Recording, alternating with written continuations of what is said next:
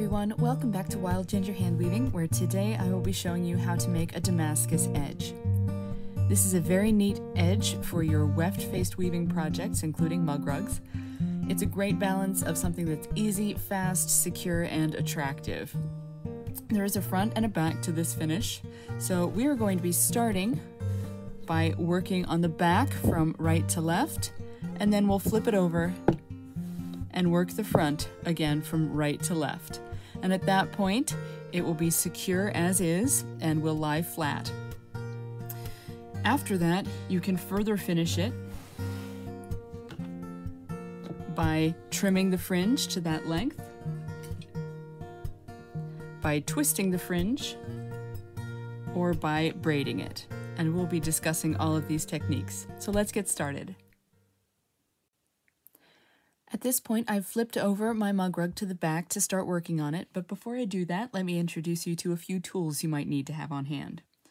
First of all is a wide-toothed comb. This is very handy for if your threads get into a tangle, you can very quickly straighten them all out again. You will also want to have a heavy weight of some sort. I like to use an antique iron, and I simply place that on top of my rug higher up there to keep it nice and secure so it won't go anywhere as I'm working on it. Also, I'll need something with a blunt tip like a knitting needle or a smooth chopstick, which can be handy for sorting out the threads, but also more importantly for easing out this weft protector. This is just a few picks of yarn that I wove in there to make sure that the weft would stay put and not go anywhere uh, when I cut it off the loom. And I will want to keep it in there while I'm working, but just let it out a few strands at a time so these warp ends are free to work on. The blunt tipped needle like this is very handy because you can manipulate things very gently without getting anything else out of place. You may also want to have something like a clothespin or a sewing clip, which you can put into the piece a little bit ahead of where you're working to make sure that nothing will unravel past that point. You can start to take out the threads on this side of the clip, but you won't have to worry about the rest of it unraveling. And finally, you'll want something like a pair of scissors to trim the fringe once you're all completely done.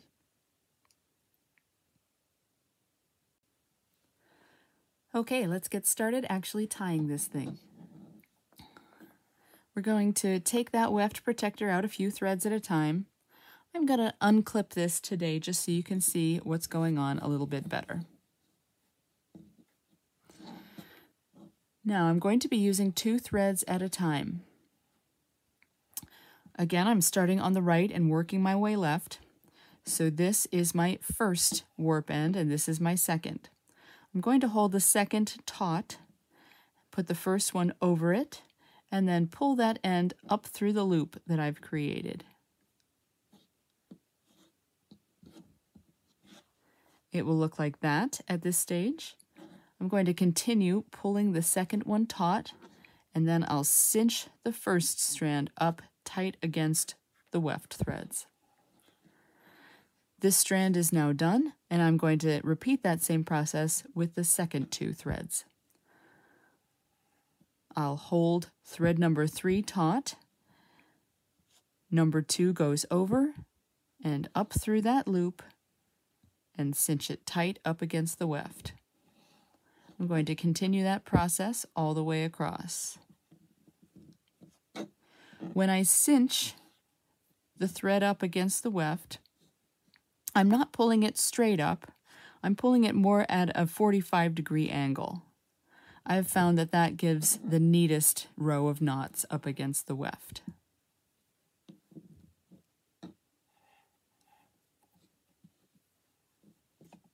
As I said, I'm just going to continue that all the way across.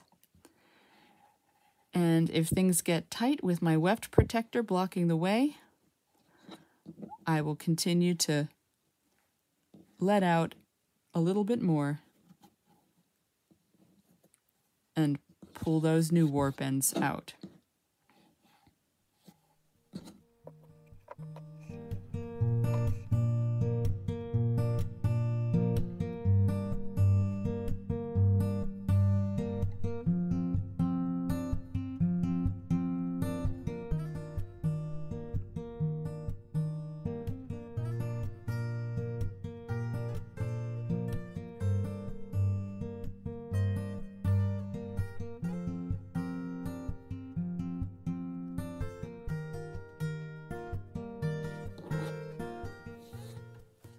At this point, I have taken out my weft protector entirely, and if I had taken it out earlier, what might have happened is this final blue weft pick would have drawn in, making these last three threads a tangled mess. This is more likely to happen with some weave structures than others. In this project today, my weft was very tightly packed, so it really wasn't going anywhere. But you always want to be careful just in case it's going to do something you don't want.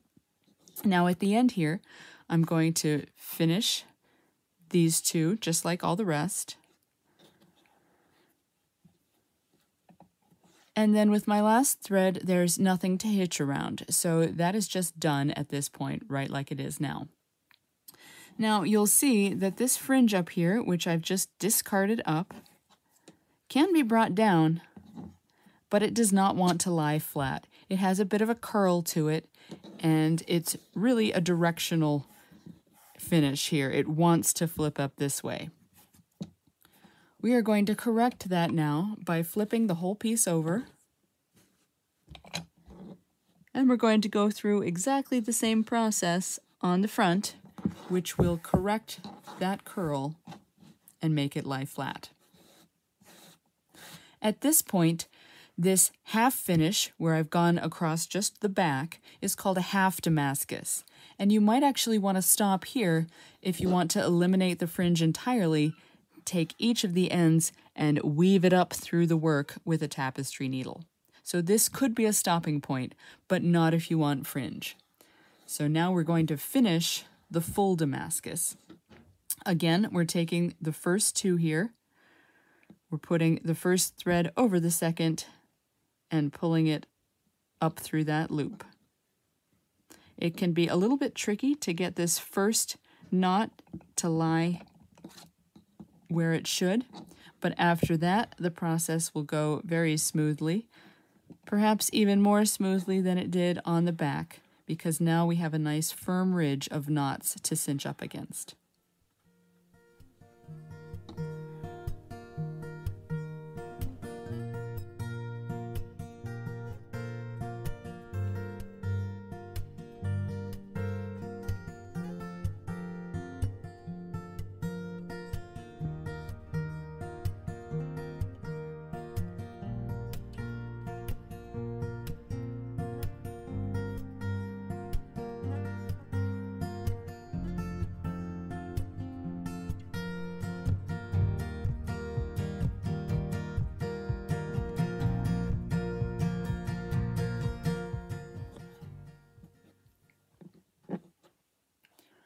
Again, at this point, we've reached the end and there's nothing more for this final strand to hitch around, so we are done at this point.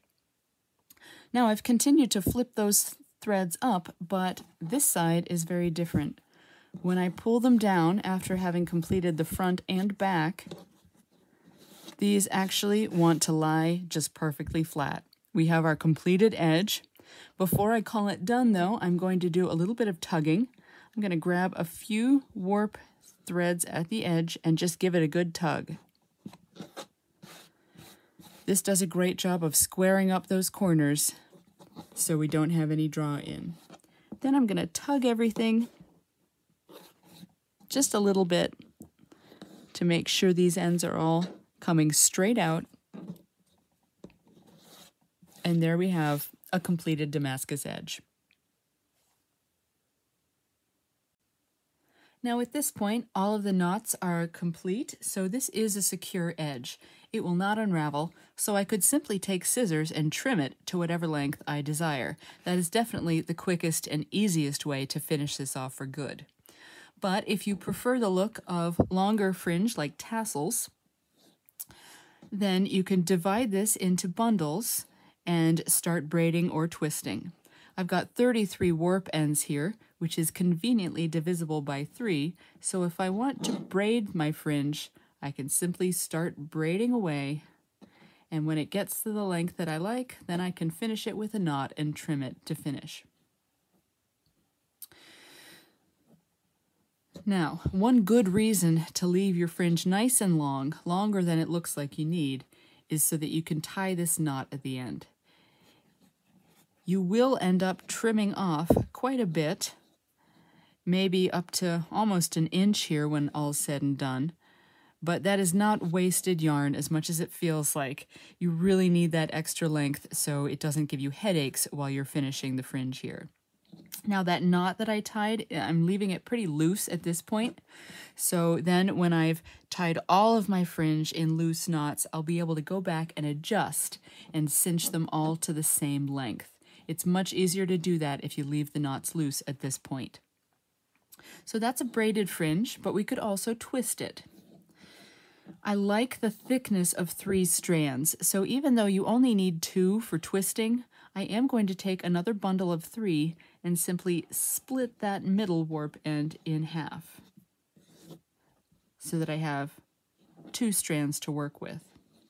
There is actually a tool for twisting the fringe, which you could use, but I find it cumbersome when I'm working at this small scale, and it's actually quicker and easier for me to do it by hand. So I'm going to take these two bundles in between my thumb and my pointer finger, and I'm going to have them between the same fingers, but make sure that they are separated there.